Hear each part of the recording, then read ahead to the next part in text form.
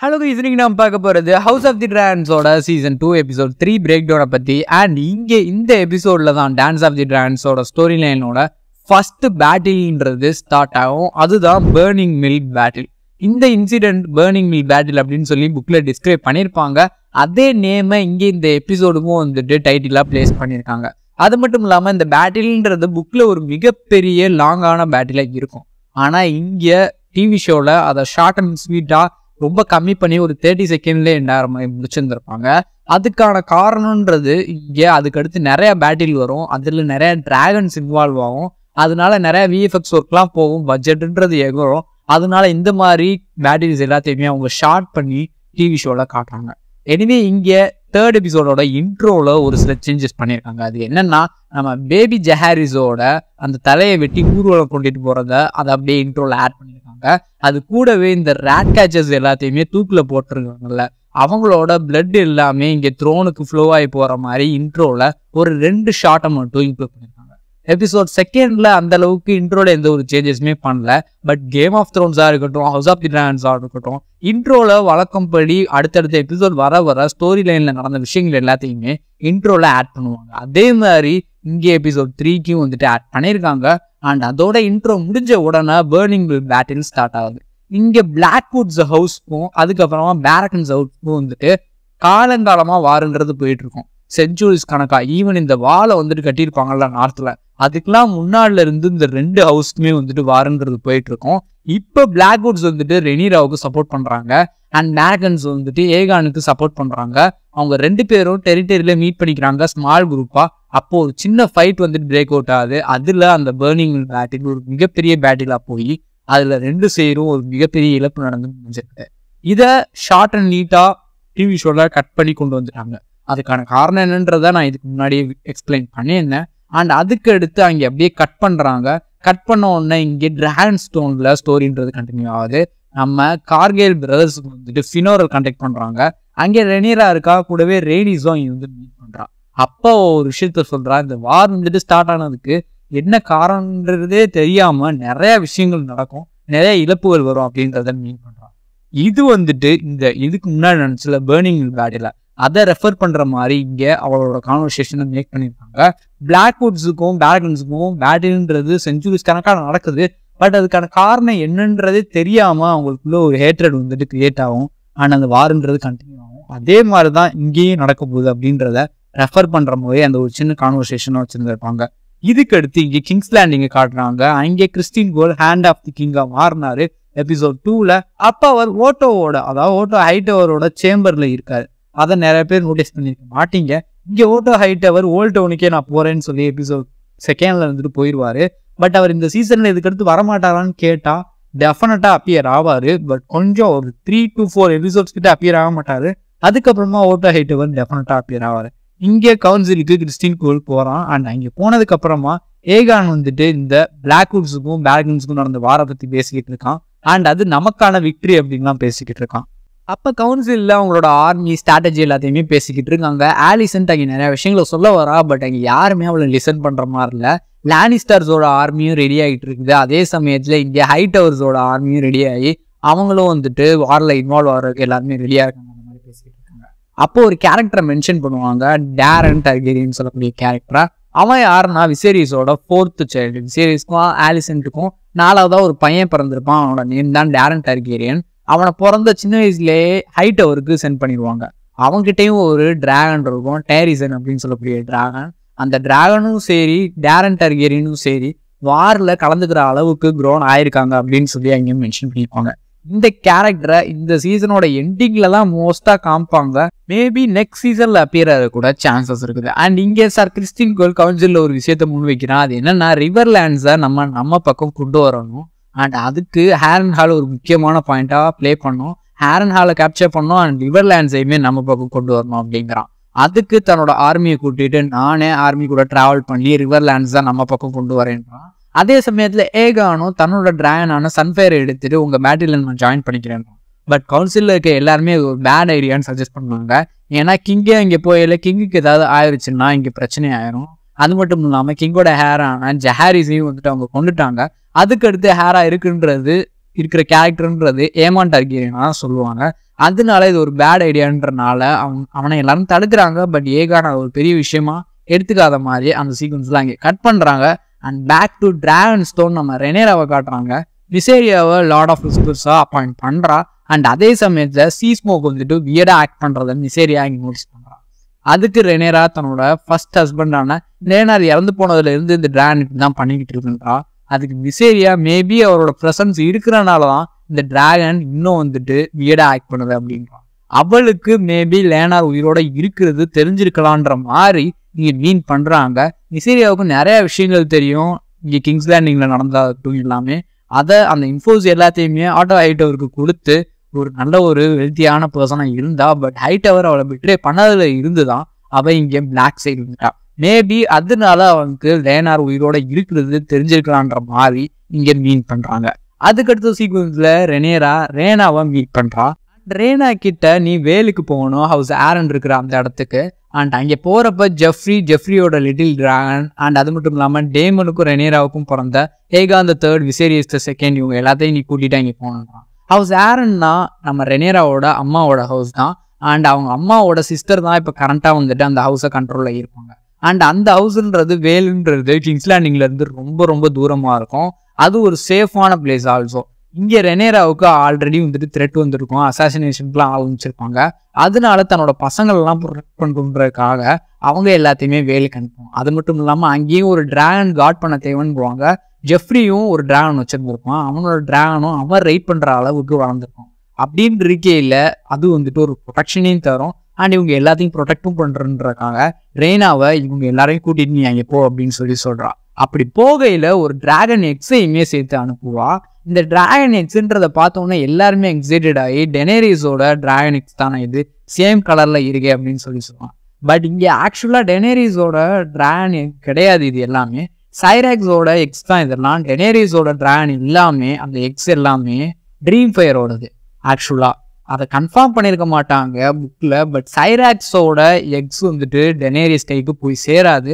டெஃபினட்டாக அது dream ஃபயரோட X தான் போய் சேரும். அதனால இங்கே ஒரு சின்ன மிஸ் அண்டர்ஸ்டாண்டிங் ஆகி நிறையா பேர் இந்த எக்ஸ் வந்துட்டு டெனேரியஸோட எக்ஸ் அப்படின்னு சொல்லி மீன் பண்ணிட்டாங்க. ஆக்சுவலாக அது டெனேரியஸோட எக்கே கிடையாது. டெனேரியஸோட எக்ஸ் எல்லாமே அதாவது அந்த எக்ஸ் எல்லாம் ட்ரீம் ஃபயர்ட் இருந்து வந்தது.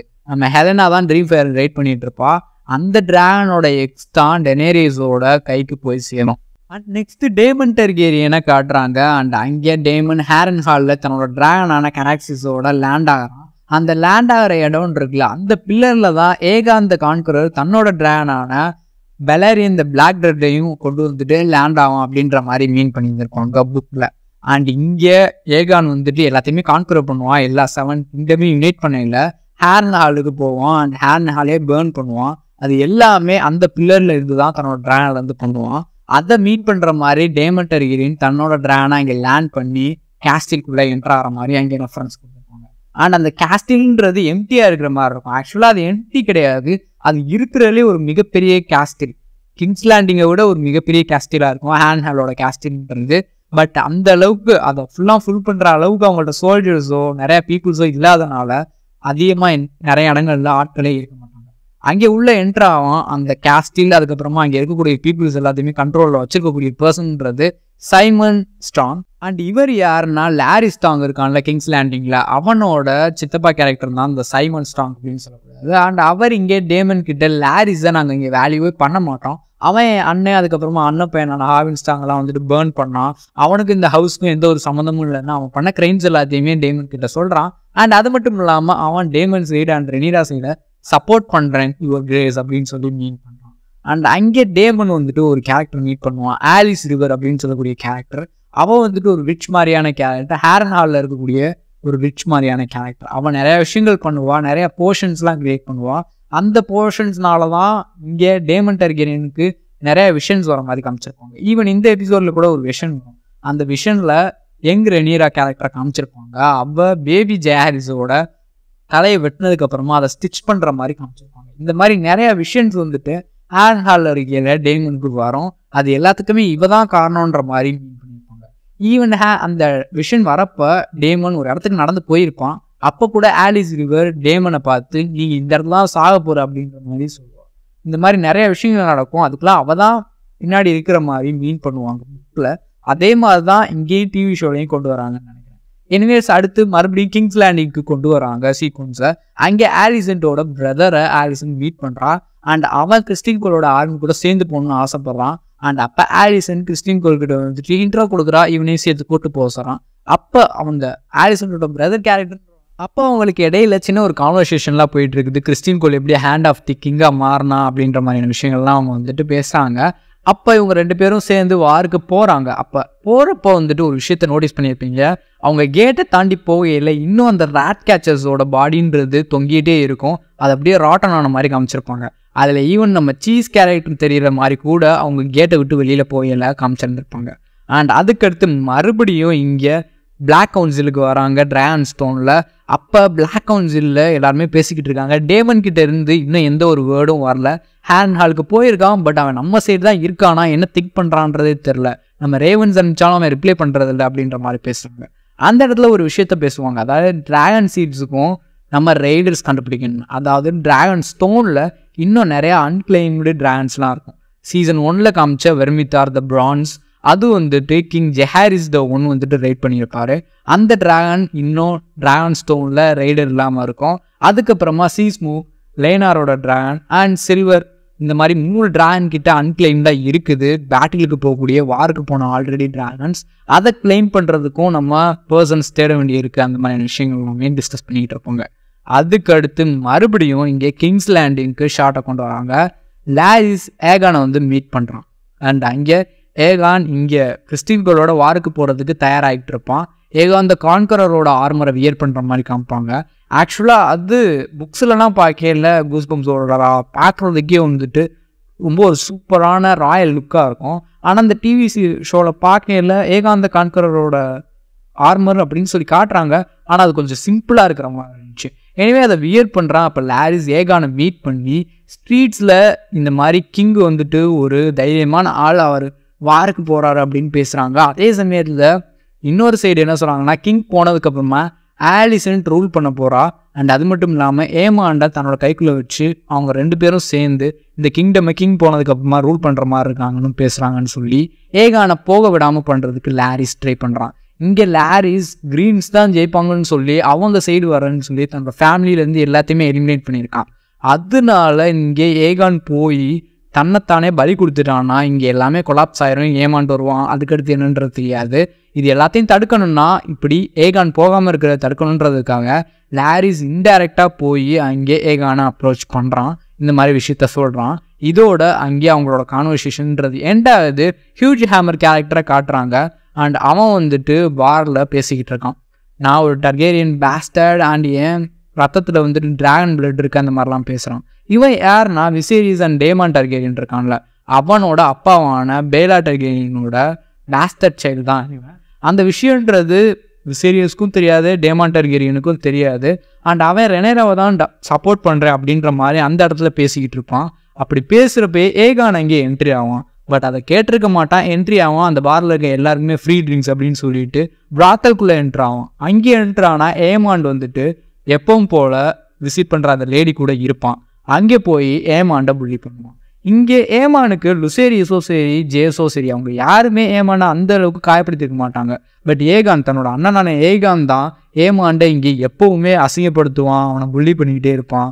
அதனால ஏமான் கோவப்படுவான் பட் அதை காட்டிக்க மாட்டான் அப்படியே போயிட்டே இருப்பான். அங்கேயும் கோவப்படுவான் ஆனால் அதை வெளிக்காட்டிக்கிறாம அங்கேருந்து எந்திரிச்சு போவான். கீழ் டிராகன் ஸ்டோனில் ரெனேராவை காட்டுறாங்க. ரெனேரா ஆலிசன் அனுப்புன அந்த லெட்டரை பார்க்குறான் அண்ட் அதுக்கப்புறமா இங்கே ரீதிங்க் பண்ணி பார்க்குறான் இந்த வாரம் என் பண்ணுறதுக்கு பீஸ்ஃபுல்லான ஏதாவது விஷயம் இருக்காங்க அப்போ ஆலிசன்ட்ட மீட் பண்ணலாம் அப்படின்ற ஒரு தாட் அவளுக்கு வருது. அதை அரேஞ்ச் பண்ணுறதுக்கு மிசேரியாவை கூப்பிட்றான் அண்ட் மிசேரியாவும் அந்த அரேஞ்ச்மெண்ட் எல்லாத்தையுமே பண்ணுறா இங்கே போய் சேர்றதுக்கு டேமன் போன மாதிரியே நீங்களும் அந்த ராயல் லுக் இல்லாமல் ஜென்ரலாக ஸ்மால் ஃபோக்ஸ் மாதிரி போனால் அந்த சில்வர் ஹேர் மறைச்சி யாருமே கண்டுக்க மாட்டாங்க அதே மாதிரி ரெனேராவும் ஒரே ஒரு பர்சனோட மட்டும் ட்ராவல் பண்ணி போறா. கிங்ஸ் லேண்டிங் போறா. எப்படியே ஆலிசன்ட்ட மீட் பண்றா. அப்போ தன்னோட அப்பா என்னதான் சொன்னார் அப்படின்னு சொல்லி அவர் கேட்குறான் இங்கே ஆலிசன் ரெனேரா வந்துட்டு ஹேரா வந்துட்டு அவன் சீரியஸ் திங்க் பண்ணல. கடைசி நேரத்தில் ஏகான் தான் ஹேரா இருக்குன்னு சொல்லிட்டு அவன் மைண்ட் சேஞ்ச் ஆயிடுச்சு அப்படின்னு சொல்லி ரெனேராவை பிரெயின் வாஷ் பண்ணுறான் அதே சமயத்தில் ஆலிசன் விசேரி சொன்ன விஷயத்த முழுசாக சொல்லி முடிக்கிறதான் ரெனேராவுக்கு ஒரு விஷயம் புரியுது. இங்கே விசேரியஸ் ஏகாந்த கான்கரரை மீன் பண்ணி அவரோட ட்ரீமை பற்றி பேசிக்கிட்டு இருந்திருக்காரு. இதை ஆலிசன் தப்பாக எடுத்துக்கிட்டு ஒரு மிகப்பெரிய வாரையை கிரியேட் பண்ணிட்டாங்க. இந்த விஷயன்றது ரெனேரா ஆலிசன் கிட்ட எக்ஸ்பிளைன் பண்ணாலும் அது ஏகாந்த கான்கரர் தான் எக்ஸ்பிளைன் பண்ணியிருக்காங்கன்னு சொன்னாலும் ஆலிசன்ட் அதை திங்க் பண்ணி பார்த்துட்டு ஆல்ரெடி அதை தெரிஞ்ச மாதிரி தான் அவரோட ஃபேஷியல் ரியாக்ஷன்ஸ்லேருந்து எல்லாத்தையுமே கொடுத்துருப்பான். அண்ட் இங்கே இது எல்லாமே ஒரு மிஸ் அண்டர்ஸ்டாண்டிங்னால தான் இவ்வளோ பெரிய வாருன்றது நடக்குது. அண்ட் ரெனேரா ஆலிசன் கிட்ட இந்த விஷயத்த நீ வெளில போய் சொல்லி இப்போ கூட நம்ம பீஸா முடிச்சுக்கலான்ற மாதிரி சஜஸ்ட் பண்றா. அண்ட் ஆலிசன்ட்டும் இது இப்போ கைமீறி போயிருச்சு. ஏகான் வந்துட்டு ஆல்ரெடி ஃபியூரியஸாக இருக்கான். அண்ட் ஏமான் சரியில்லை. அதே மாதிரி கிறிஸ்டின் கோலும் ஆல்ரெடி மார்ச்சில் இருக்கான். இது இனிமேல் வேலைக்கு ஆகாதுன்ற மாதிரி அவன் அங்கே சொல்லிட்டு அப்படியே போயிடுவான். அதோட ரெனேராவும் தானும் மார்க்கு ரெடி ஆகிற மாதிரி இந்த எபிசோட என் பண்ணியிருப்பாங்க இதுக்கு அடுத்து ஃபோர்த் எபிசோட்ல தான் ஃபர்ஸ்ட் டிராகன்ஸை இன்வால்வ் பண்ணி ஒரு மிகப்பெரிய பேட்டில்ன்றது நடக்கும். இப்போ கரண்டாக அது ரிலீஸ் ஆயிடுச்சு மோஸ்ட் ஆஃப் வாட்ச் பண்ணியிருப்பீங்கன்னு நினைக்கிறேன். அதில் நிறையா ஹார்ட் பிரேக்கரான ஈவெண்ட்ஸ்லாம் நடக்கும். அண்ட் ரெண்டு சைடுமே ஒரு சில டேமேஜஸ்லாம் ஆகும். அது எல்லாமே ஃபோர்த் எபிசோடோட பிரேக் டவுன்லாம் நம்ம பார்க்கலாம். எனவே தேர்ட் எபிசோடோட உங்களோட தாட்ஸ் ஒப்பீனியன்ஸ் எல்லாத்தையுமே கமெண்ட் செக்ஷன் லீவ் பண்ணுங்க. அண்ட் இதில் நான் ஏதாவது ஒரு ஃபேக்ட்ஸோ புக்கில் இருக்கக்கூடிய ரெஃபரன்ஸோ மிஸ் பண்ணியிருந்தேன்னா அதையும் கமெண்ட் செக்ஷனில் லீவ் பண்ணுங்க. மற்றவங்களும் பார்த்து தெரிஞ்சுக்கட்டும். இனிமேல் அவ்வளோதான் இந்த வீடியோ முடிஞ்சு பீஸ் அவுட் மறக்காமல் சப்ஸ்கிரைப் பண்ணிக்கோங்க. கூடவே அந்த பக்கத்தில் இருக்க பெல் ஐக்கானை கிளிக் பண்ணி